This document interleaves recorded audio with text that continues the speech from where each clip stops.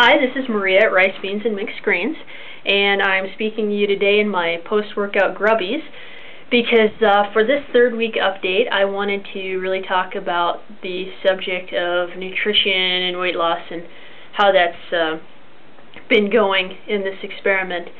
Um, I've been getting a lot of questions about, you know, how much weight have you lost? How much weight have you lost? How do you feel? That kind of stuff. Um, so I'm just going to go ahead and uh, address it here. Um, so, this is the 21st, 22nd, 22nd day of, of the project. It is uh, May 1st today, and so far I've lost 8 pounds. Um, the first 4 pounds of that came within 5 days, so uh, it's leveled off considerably since then. Um, it, it hasn't been too bad. Um, I'm not real concerned. For a while there, I was I was afraid I was going to lose um, more than 10 pounds, but I don't think that's going to happen. Um, I I just want to stress again that this is not uh, a weight loss plan that any any sane human being should follow. Uh, I am a, a pretty fit person. Um, I, I work out a lot. I enjoy working out and I have definitely lost a lot of muscle mass, which is not a good thing. Uh, that'll actually cause you to gain weight over time. Now, I can always get that back, but it's going to take a little work after I'm done with this. So, um, you know, when when athletes are losing weight for a competition or whatever, generally they cut their calorie intake a little bit, and then they also increase their protein intake and decrease their carbohydrate intake, and I have done the complete opposite of that. So, so that should probably tell you uh, that it's not necessarily the best thing to do. Um, in terms of how I'm feeling, I'm feeling fine. Um, I've, I've definitely lost some strength. I've lost some endurance. I haven't been able to exercise as much as I would like. Um, I just I don't have the energy for it. Um, so you know I've just been kind of trying to take it easy and do what I can to maintain my fitness level. Um, but like I said, I've, I've lost a few steps, and I know that. Um, but other than that, uh, I, I feel fine. And actually, now that I'm in the last week, I can kind of see that light at the end of the tunnel, which is great um, because I don't have to ration the food that I do have quite so stringently. Um, so I've been able to up my intake quite a bit, and uh, that that helps a lot. I've been feeling a lot better the last couple of days by doing that. Um, in terms of what I'm eating and what I'd like to be eating, um, it's it's interesting. The first week or so that I was on this, I really missed, you know, all of my usual junk food indulgences, and cookies and chocolate and really good coffee um, and things like that. And lately, I have been having a lot of cravings for things like fresh fruit. Um, I was I was watching TV the other day and there was a commercial and it had this cut in half orange that was just like juicy and and I just kind of looked at it and was oh fresh orange you know um so I, I'm definitely missing stuff like that. I mean if if I could have anything in the world to eat right now, probably a great big fruit salad uh would would be awesome. Um I definitely still want to have some coffee and uh, definitely want to have some chocolate. But it's it's interesting that my cravings have really shifted to, to fresh foods, and part of that might be you know my body telling me you got to get off this starch stuff.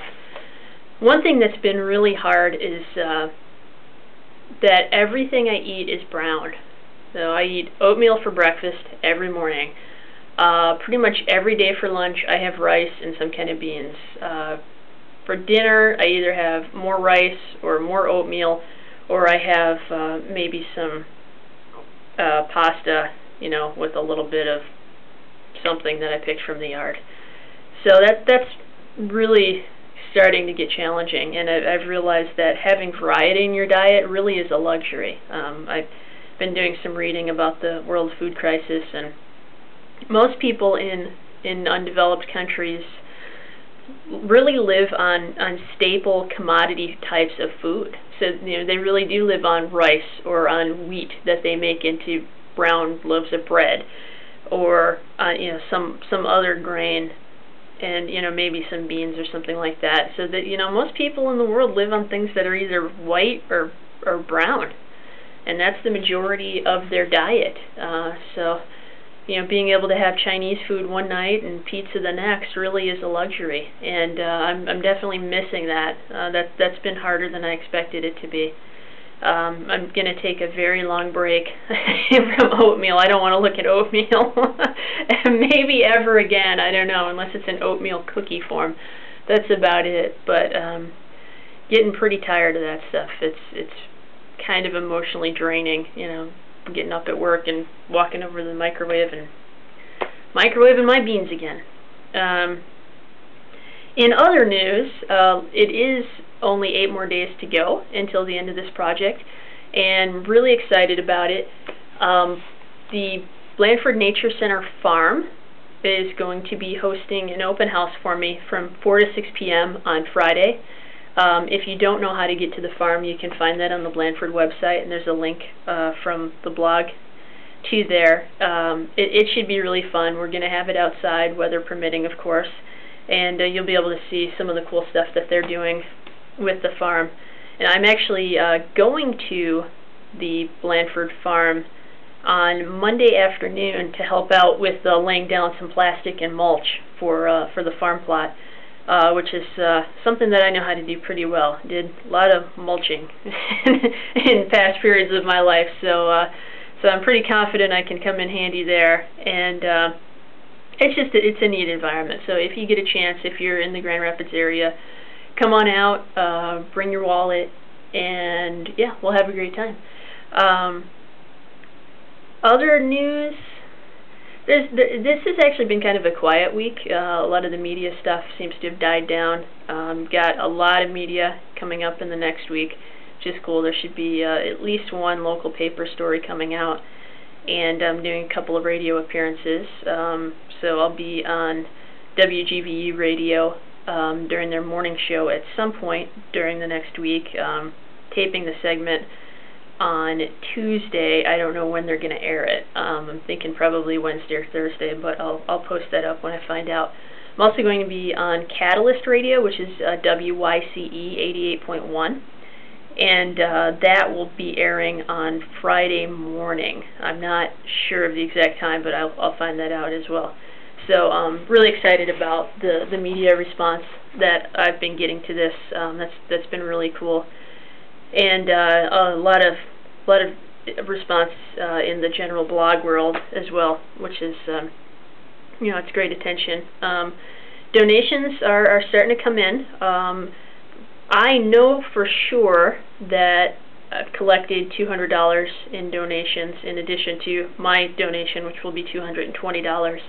Um, really hoping to get to the $2,500 mark. Uh, that would be really awesome. And one of the reasons that I want to get there is because uh, Blandford and Mixed Greens have actually been working with the musician Jack Johnson, who uh, some of you probably know did the Curious George soundtrack, uh, among other things. It's he's a cool guy. Used to be a professional surfer or skateboarder, something like that. And now he does kind of laid back, uh, folksy music.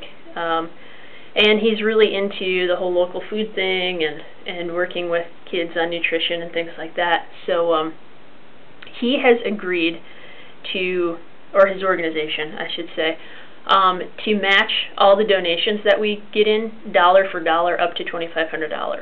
So if you donate, you know, $10, it's actually like donating $20. So anything that you could do would be awesome. Um, like always, there's the, the chip in link um, on the side where you can donate online through PayPal. If you don't want to do that, um, there's also a link to the Blandford donation page. Um, you can send them a check.